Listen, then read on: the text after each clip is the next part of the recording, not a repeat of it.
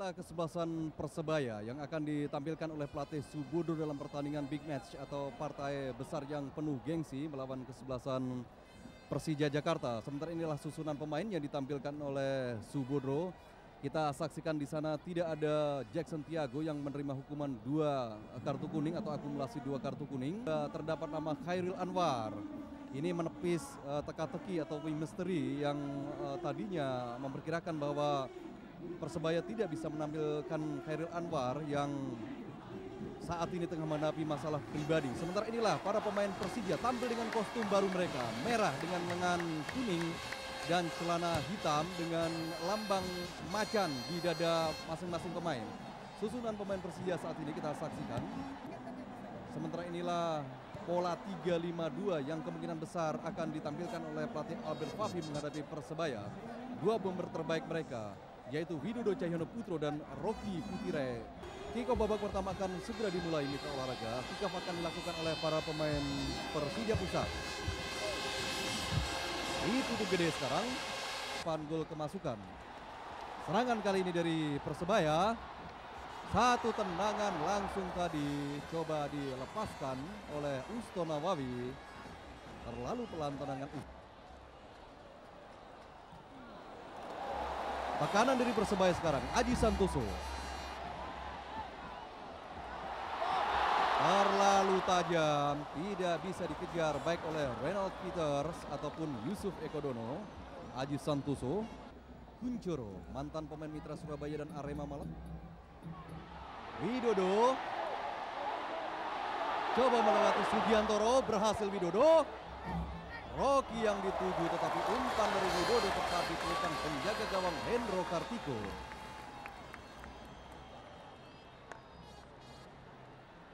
Dalam tayangan amat kita saksikan mitra olahraga, Widodo sudah terlepas dari kawalan Sugiantoro mempertahankan gelar juara divisi utama Liga Indonesia.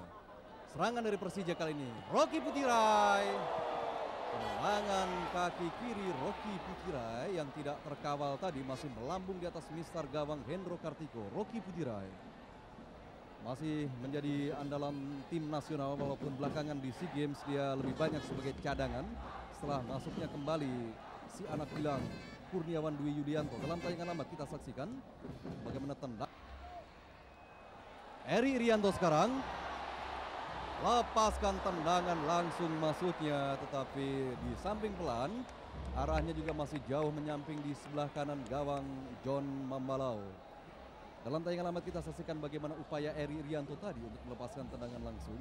Eri memang selama ini kita kenal pemain yang memiliki kelebihan.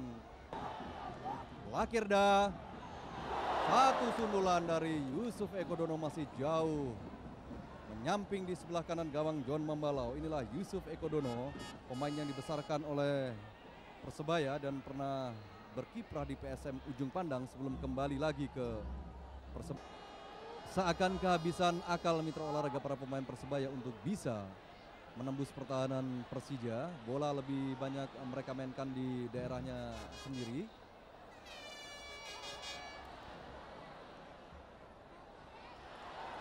Cukup bagus kali ini. Haji Santoso tepat di posisi penjaga gawang John Mambalau. Tendangan kaki kiri dari Aji Santoso tadi. John Mambalau yang selalu tampil dengan senyum khasnya. Dalam tayangan amat kita saksikan inilah upaya dari Aji Santoso melepaskan tendangan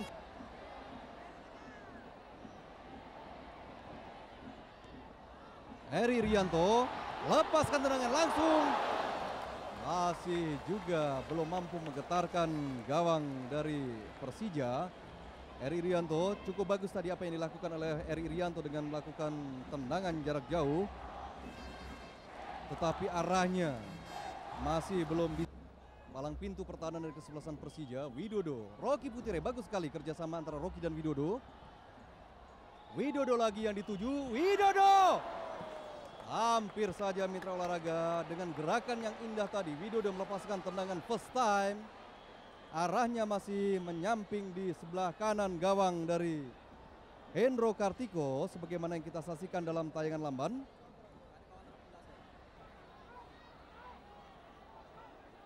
Lakirda. Usto Nawawi. Aji Santoso sekarang. Uston lagi. Uston Nawawi. Peluang didapatkan dan masuk ke olahraga. Yusuf Eko Dono berhasil menggetarkan gawang dari Persija yang dikawal oleh John Mambalau. Dengan demikian mengubah kedudukan menjadi 1-0. Disambut oleh gegap gempita seakan Stadion Gelora 10 November bergetar mitra olahraga oleh gol yang diciptakan oleh Yusuf Ekodono kerjasama dengan Uston Nawawi tadi. Persebaya 1, Persija 0. Yusuf Ekodono dan ini merupakan golnya yang pertama sepanjang kiprah Yusuf di kompetisi Liga Indonesia keempat dalam tayangan lama kita saksikan Gol pas yang sangat bagus antara Yusuf dengan Uston Nawawi melahirkan gol pertama bagi Persebaya.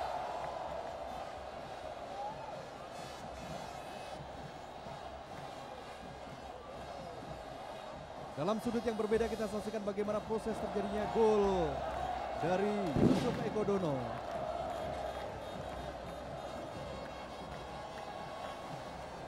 Usto Nawawi, Haji Santoso. Yusuf Ekodono, Anang Maruf sekarang. Dan olahraga dari kejauhan nampak handsball tadi inilah Anang Maruf dengan wajah lugunya. Kecewa karena wasit dan asisten wasit tidak melihat bola tadi handsball dalam tayangan lambat kita saksikan. Ya dalam pengamatan kami bola tadi memang menyentuh tangan dari Haryanto dan bersama dengan itu mitra olahraga babak pertama pertandingan bergengsi yang syarat Histori antara kesebelasan Persebaya melawan Persija berakhir sudah. Kedudukan sementara adalah 1-0. Satu-satunya gol di babak pertama diciptakan oleh Yusuf Ekodono. Pemain yang nampak di layar kaca Anda pada menit ke-39. Kami melihat belum ada pergantian pemain baik di kubu Persebaya ataupun Persija. Komposisi pemain seperti yang ditampilkan pada babak pertama. Ya, wasit Jaja Sudraja sudah menitipkan peluit. Nawawi akan melakukan tendangan sudut sementara tiga pemain Persebaya berada di kotak penalti Persija. Haji Santoso sekarang lepaskan tendangan langsung. Bola sempat muntah dari tangkapan dari gawang Don. Ronald Peters, Lakirda dan juga Yusuf Ekodono berada di kotak penalti Persija. Eri Rianto. Tendangan Rianto masih berhasil diblok oleh penjaga gawang John Mambalau. Dalam tayangan lambat kita saksikan mitra olahraga Usto Nawawi. Bola dihalau oleh Atangana, di sana ada Eri Rianto, sekali kontrol melepaskan tendangan kaki kanan. Yusuf Ekodono dan mitra olahraga satu keberuntungan belum berpihak pada Persebaya di, di mana tendangan Ronald Peters tadi masih membentur. Mister gawang John Mambalau dan kembali keluar. Tidak menghasilkan gol dalam tayangan lambat kita saksikan mitra olahraga. Haji Santoso. Yusuf Ekodono. Ronald Peters masih menyamping di sebelah kiri gawang John Mambalau. Tendangan dari Ronald Peters tadi. Ronald Peters mencoba memanfaatkan peluang di mana dia tidak dikawal dan berada pada posisi yang cukup bebas. Dia melepaskan tendangan kaki kanan. Rocky yang dituju. Kuncoro lepaskan tendangan langsung muntah bola dari tangkapan penjaga gawang Hendro Kartiko masuknya mau disambar oleh Rocky Putirai dan bersama dengan itu Hendro kembali mencoba menangkap bola. Sehingga terjadi benturan tadi dan menyebabkan Hendro Kartiko tergeletak. Dalam tayangan lama kita saksikan tendangan dari Kuncoro. Sempat lepas dari tanggapan Hendro. Ada Rocky di sana dalam saat yang bersamaan Hendro menangkap bola.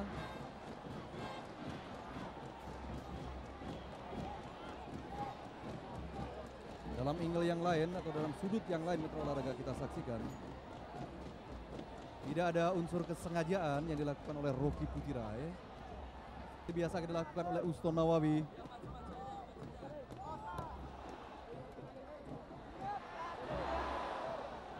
Lakirda sekarang. Yusuf Ekodono. Satu peluang emas dimiliki oleh Yusuf Ekodono. Tapi gagal. Sementara kita saksikan protes kembali dilakukan oleh pemain Persija yang menganggap posisi Yusuf sudah offside.